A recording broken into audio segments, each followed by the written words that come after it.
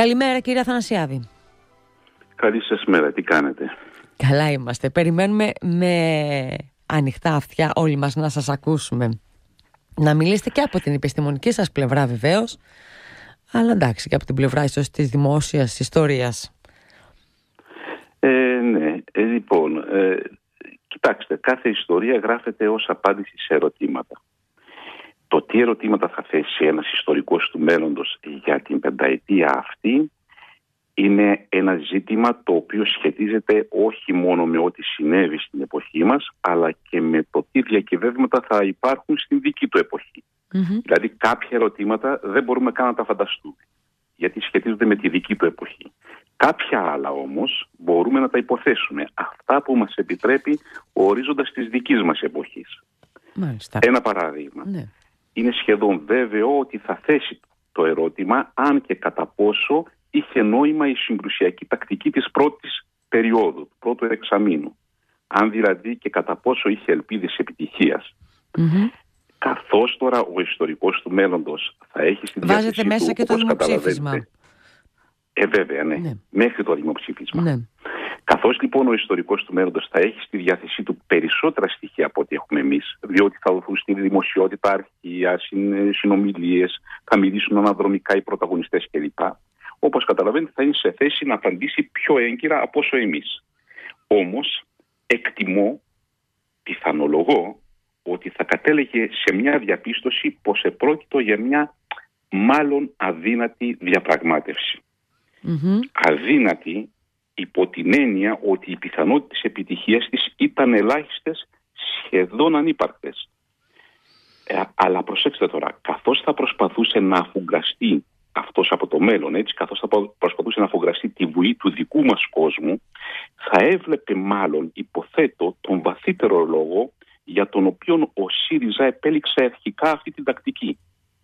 Δηλαδή εκτιμώ ότι η γραμμή ανάλυσης του θα ήταν περίπου η εξής Μμμ.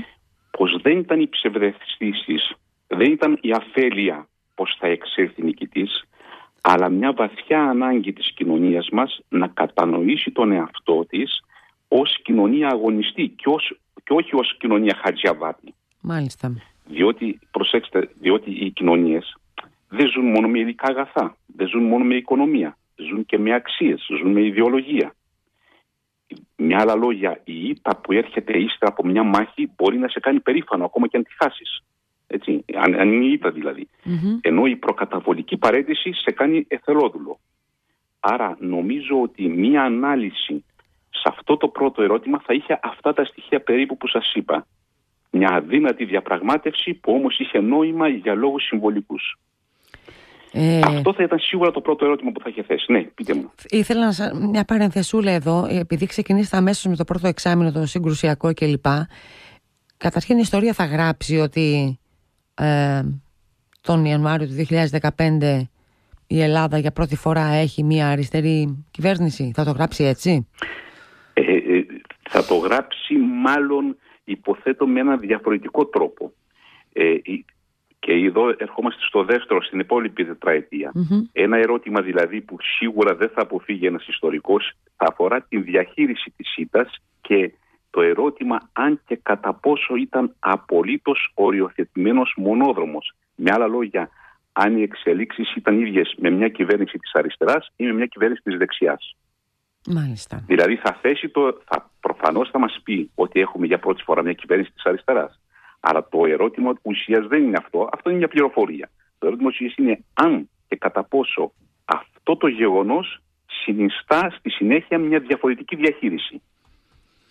Εδώ λοιπόν, σε αυτό το ερώτημα, καταρχάς ο ιστορικός του μέλλοντος θα ήταν βέβαια σε θέση να συγκεντρώσει εκείνα τα στοιχεία που νομίζω θα φανέρωναν τη συστηματική προσπάθεια του ΣΥΡΙΖΑ να περιορίσει τις επιπτώσεις της κρίσης αυτής, αυτά, αυτές τουλάχιστον που αφορούν τα πιο αδύναμα κομμάτια της ελληνικής κοινωνίας. Αυτή την αίσθηση που έχουμε και στην εποχή μας, μια αίσθηση ότι υπήρχε μια τέτοια συστηματική προσπάθεια, νομίζω ένας ιστορικός του μέλλοντος θα μπορούσε να την τεκμηριώσει μετρήσιμα, με μετρήσιμα και απτά στοιχεία.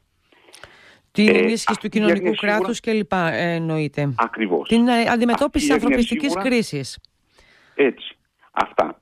Αλλά βεβαίως ε, ενώ θα διαπίστωνε και θα μπορούσε να εκτιμήσει ότι αυτό δεν θα ήταν στις προτεραιότητες μιας δεξιάς κυβέρνηση, αυτό οφειλόταν στο γεγονός ότι υπήρχε μια αριστερή κυβέρνηση.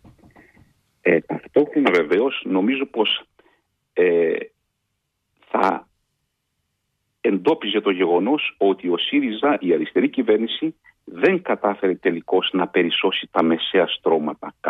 να γλιτώσει από την εξαθλίωση τα κατώτερα, αλλά δεν κατάφερε να περισσώσει τα μεσαία, ούτε να εμποδίσει τα ανώτερα να κερδοσκοπήσουν από την κρίση. Μάλιστα. Με άλλα λόγια, με άλλα λόγια θα διαπίστωνε σε αυτή και, ότι και σε αυτή την πενταετία συνεχιζόταν με πιο αργό ρυθμό αυτό που συνέβαινε την προηγούμενη, την πρώτη πενταετία της κρίσης. Ποιο δηλαδή, το γεγονός ότι η κοινωνική διάρθρωση διαμορφωνόταν σταδιακά σαν μια κλεψίδρα που το πάνω μέρος της ήταν μικρό, το ανώτερο στρώμα, το κάτω της είχε μεγαλώσει υπερβολικά και είχε μεγαλώσει επειδή η μέση της συρρυκνωνόταν όλο και πιο πολύ, η μεσαία τάξη. Αυτό δηλαδή, αυτή η, η, η, εξ, ε, η εξάχνωση, η συρρύκνωση μάλλον της μεσαίας τάξης ε, νομίζω ότι θα διαπιστωθεί και με μετρήσιμα στοιχεία ότι συνεχιζόταν αν και κάπως πιο αργά από ό,τι πριν.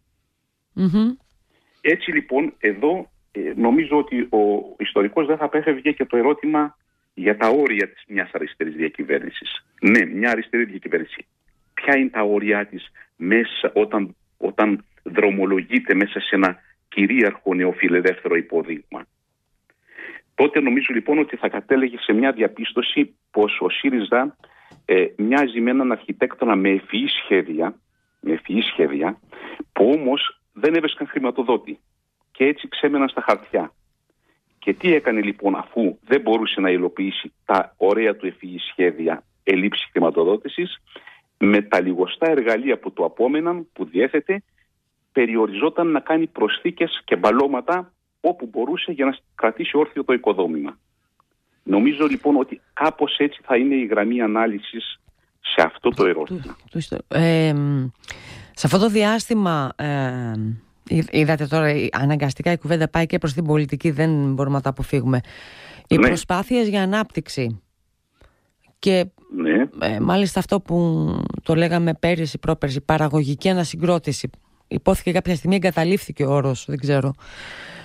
Ε, υπήρξαν θα αναγνωριστούν ή, ε, ή θα πούμε ότι το άφησε για τη δεύτερη τετραετία; νομίζω ότι ήταν σε αυτό που μόλις είπα, ότι θα αναγνωριστούν σίγουρα σε, στις, ε, σε αδρές γραμμές στο σχεδιασμό. Αλλά τα λοιπόν. στοιχεία που θα το υποστηρίξουν θα είναι ισχνά στοιχεία και ουσιαστικά θα, θα μετακινούνταν αυτό το στοίχημα ακριβώς όπως λέγατε για την πιθανότητα μιας δεύτερης τετραετίας. Δηλαδή και σε αυτό νομίζω ε, μπορούμε να το εκτιμήσουμε και εμείς ότι μόνο εκτός μνημονίων, για να το πούμε με όρους τρέχουσας πολιτικής, θα μπορούσαμε να δούμε ένα σχέδιο να εκδιπλώνεται με μεγαλύτερη σαφήνεια. Ε, εγώ το οποίο ε, ε, ναι. σε πολύ λίγο διάστημα γιατί εκτός μνημονίων είμαστε ούτε ένα χρόνο. Ούτε ένα χρόνο. Ναι. Εδώ λοιπόν θέλω να, να, να μην ξεχάσουμε να, και ένα τρίτο ερώτημα που συνήθως δεν το βάζουμε όταν παρακολουθούμε την τρέχουσα πολιτική, όταν ζούμε μέσα σε αυτήν, αλλά σχεδόν όλοι οι ιστορικοί όταν αναφέρονται στο παρελθόν το βάζουν. Δηλαδή, κατά πόσο άλλαξαν οι νοοτροπίες της ελληνικής κοινωνίας. Φεύγουμε πλέον από την κορυφή από τις... και πάμε, και πάμε κάτω, στη βάση. Ακριβώς. Οι ιστορικοί γνωρίζουν ότι οι νοοτροπίες είναι βαθιές δομές. Αλλάζουν πολύ δύσκολα και αντέχουν παρόλο που τα κοινωνικά και τα οικονομικά δεδομένα μπορεί να αλλάξουν νωρίτερα και πολύ πιο γρήγορα. Νομίζω λοιπόν ότι σε αυτό το ερώτημα ο ιστορικός του μέλλοντος θα έβλεπε περίπου τα εξής. Ότι η γενικευμένη αυτή δυσαρέσκεια που την είδαμε και εμείς και η οποία ανέβασε ουσιαστικά το ΣΥΡΙΖΑ στην εξουσία ε, είναι πολύ δύσκολο ίσως δεν έγινε, ε, δεν, δεν έγινε εφικτό να μετατραπεί σε μια θετική συλλογική που θα αναδιατάσει τους, τις αξίες και τους στόχους της κοινωνίας. Με άλλα λόγια, να το πω με όρους πολιτικής, ο ΣΥΡΙΖΑ έσωσε τους φτωχούς από την εξαθλίωση, μα δεν τους έδωσε νέα συλλογική ταυτότητα. δεν τους πολιτικοποίησε δηλαδή. Και αυτό, και αυτό το γεγονός το ότι δεν κατάφεραν να τους μετατρέψει σε, συλλογική, σε συλλογικό υποκείμενο ε, νομίζω ότι φαίνεται τώρα που δυσκολεύεται να κεφαλαιοποιήσει πολιτικά αυτή του όλη την προσπάθεια η οποία από οικονομικής και κοινωνικής απόψεως είχε σημαντικό βαθμό Δεν μετατρέπεται σε πολιτικό κεφάλαιο, ακριβώς γιατί λείπει εδώ μια νέα συλλογική ταυτότητα που να μετατρέψει το θυμό σε πρόταγμα θετικό. Έχετε Αυτό, δίκιο. Όπως είπατε και εσείς, οι νοοτροπίες δεν αλλάζουν εύκολα. Είναι, είναι δύσκολες. Και εφόσον. το, για πείτε μου. Ναι. Και εφόσον δεν προσπαθήσεις αυτό να το εντάξει, έγινε ένα βήμα με την Προοδευτική Συμμαχία, έγινε πολύ αργά και έγινε σε υψηλό επίπεδο. Αν και η κοινωνία, κατά τη γνώμη μου, έδειχνε νωρίτερο ότι πρέπει να γίνει έτσι. Ε, νομίζω αυτό που είπατε με την Προοδευτική Συμμαχία ε, έχει, ε, έγινε ακριβώς δεν αναφέρεται τόσο στα χαμηλά στρώματα όσο Όχι. στη μεσαία μορφωμένη τάξη. Ναι, έτσι Εδώ έχουμε ένα ζήτημα. Έτσι. Δηλαδή, το να, ε, το, τη μεσαία μορφωμένη τάξη που συρρυκνώνεται, το να της δώσεις, το να, το, να, το να προωθηθεί και να γίνει ένα είδος οδηγού της κοινωνίας, να χαράξει δηλαδή σχέδιο, διότι αυτή η τάξη είναι σε θέση να το κάνει, αυτό το βλέπουμε να εκδιπλώνεται μόνο τον τελευταίο καιρό. Δηλαδή και εδώ ε, άργησε να γίνει αυτή η κίνηση ώστε να αποτελέσει αυτή Αυτό, η αυτό, μεσαία μορφωμένη αυτό. τάξη ένα είδος ατμομηχανής της κοινωνίας που να αναδιατάξει αξίες και προτεραιότητες. Αυτό είναι. Άρα λοιπόν, ναι, Κύριε άρα Θανασία, λοιπόν, έχουμε ε, μισό ε, λεπτάκι ακόμα. Ήθελα να ρωτήσω λεπτό. τόσα πολλά Ωραία. ακόμα, αλλά θέλω να το κλείσετε εσείς όπως θέλετε. Είναι εξαιρετική κουβέντα. ε, ναι, τι να, με τι να πρωτοκλείσω τώρα. Να Ναι, πω με τι- μοναχά μην βάλετε ότι- τη Συμφωνία των Πρεσπών ότι- τώρα. Δεν υπάρχει. Όχι, α, ε, η Συμφωνία των Πρεσπών θα, θα μπει οπωσδήποτε, ε, να, ε, να το πιο κρίσιμο που ξεχάσαμε, Ε, στο, στο, το γεωπολιτικό κομμάτι. Είναι σίγουρο ότι δεν το Ήτανε- ξεχάσαμε. α- αυτό, αλλά... ή- αυτό ήταν, η με, ίσως, ίσως επειδή ε, επικεντρωθήκαμε περισσότερο στις αδυναμίες Αυτό, και στα δυ- ναι. δύσκολα σημεία. Ναι, ναι. Γιατί εδώ στη- η Συμφωνία των Προσφυγών- Προσφυγών ήταν μια εποπία επιτυχίας. Δηλαδή ένα, ένα εξαιρετικό παράδειγμα του πώς μπορείς να λύνεις προβλήματα. Αυτό λοιπόν θα πάρει τη θέση του, του, σ- στην ζυγαριά από τα θετικά. Μμμ. Αλλά κλείνοντας να πούμε ότι νομίζω ότι ο ιστορικός του μέλλοντος θα έχει την αίσθηση ε, μιας, μιας δοκιμής, μιας προσπάθειας να αλλάξει η ελληνική κοινωνία με αφορμή την κρίση η οποία σ- εάν ε, μέχρι το σημείο που είμαστε ε, είναι ένα μετέωρο βήμα, σαν το μετέωρο βήμα του πελαργού. Δεν έχει πατήσει από την άλλη μεριά, έχει ξεκινήσει αλλά δεν έχει καταλήξει. Το αν θα καταλήξει ή όχι θα μας το δείξει το μέλλον. Σας ευχαριστώ πάρα πολύ. Πάρα πολύ Να είστε κύριε καλά. Θανασιάδη. Να είστε καλά. Καλημέρα σας. Γεια σας, γεια.